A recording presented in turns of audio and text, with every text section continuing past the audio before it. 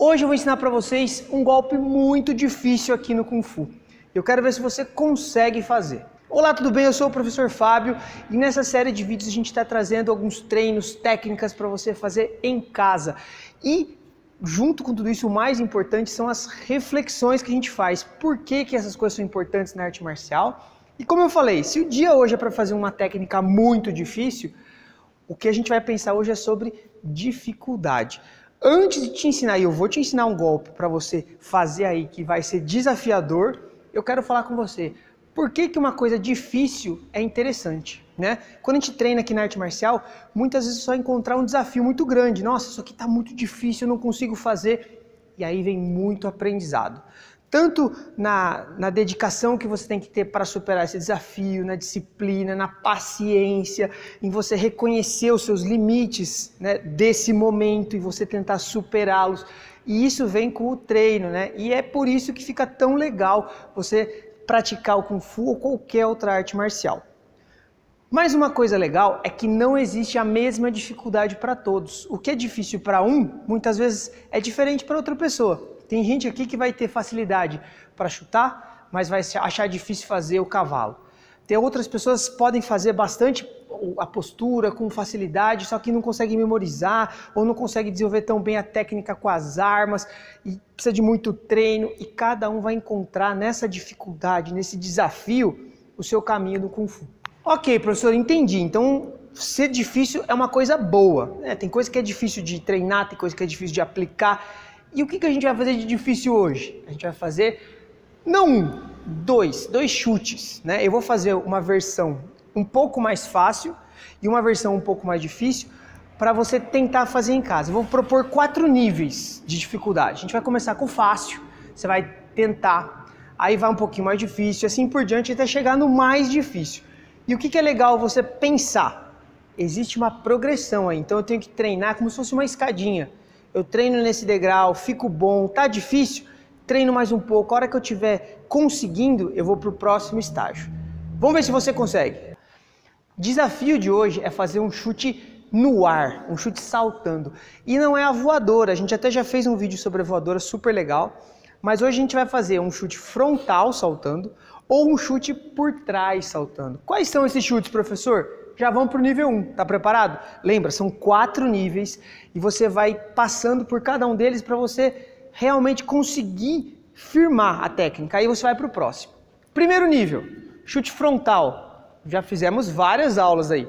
Flexiona o joelho e estende. Esse aqui vai ser o primeiro elemento aqui do nosso chute. E o chute por trás, né, no primeiro nível? Em vez de ficar de frente, ó, essa perna chutou eu vou ficar de costas. E a mesma perna, ó, vai chutar. Então eu tenho que dar guarda, virar de costas e chutar. Ah, professor, eu não conheço esse chute aí não. Faz devagarinho, treina um pouquinho. Ó, mais uma vez, vira o pé e chuta. Beleza? Esse foi o nosso nível 1. Esse nível acho que quase todo mundo vai conseguir, né? E se você não conseguir os próximos, não fique frustrado. Treine mais, treine, repita um pouquinho mais, vai devagarinho. Aliás, não deixe de se inscrever no canal, né? A gente nessa filosofia de aprender um pouquinho por dia, a gente faz sempre vídeos para vocês. Então deixa o like nesse vídeo e clica aqui no botão para se inscrever. Maravilha? Vamos para o segundo nível. Nessa ideia de saltar antes de sair do chão, eu vou dar um passo. Ah, professor, por que um passo? O passo vai me ajudar a pegar impulso. Então, ó, vamos lá.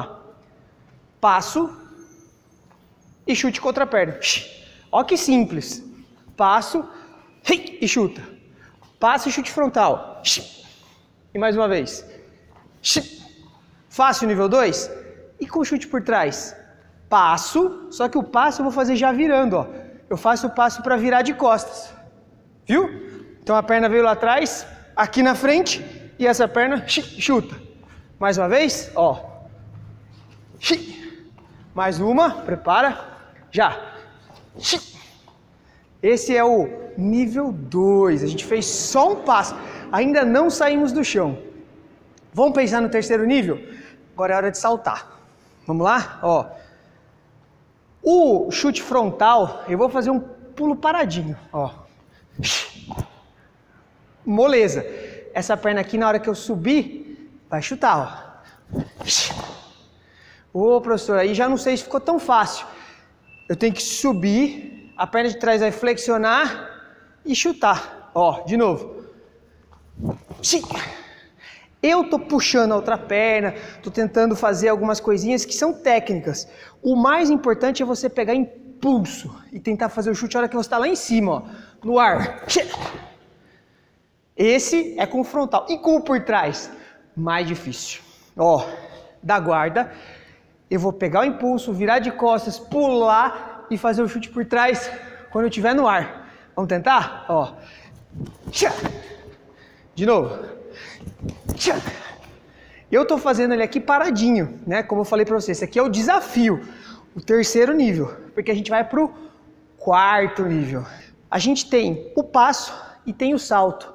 Nós vamos tentar juntar os dois. Vamos imaginar o seguinte, ó, para você acertar aí, eu vou dar um passo em um degrau invisível, uma escadinha aqui que está na minha frente que não existe. Ó, lembra do passo? É como se eu fosse pisar aqui no chão e aí eu vou chutar com essa. Moleza, ó. Passo no ar, chuta com essa. E aí eu vou pegar embalo, né? Lembra do, do impulso que eu falei? Em vez de fazer paradinho, você faz rapidão, ó. Mais uma, já. Ô professor, esse eu consegui. Então tem agora aquilo que eu falei no começo do vídeo, um golpe difícil para você, que é por trás. A gente vai fazer esse passo no ar, girar o corpo, saltar e fazer um chute de costas. A ideia, ó, câmera lenta, é esse passo que eu fiz para virar, que eu colocava no chão, é fazer ele no ar. E isso não é fácil. A gente vai dar um salto, girar o corpo e chutar. Vamos tentar. Ó. De novo. Mais uma vez.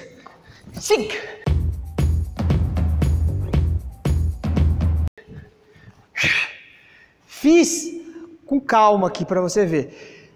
Quanto mais eu pratico, quanto mais eu salto, mais alto eu faço. Quanto mais eu me jogo para frente, mais eu treino, melhor a minha técnica fica. Só para você fazer em câmera lenta é isso aqui, ó. Um, trocar a perna e chutar. Dois. Esse é o princípio e não é moleza não. Lembra que eu falei? A ideia hoje é fazer um golpe difícil.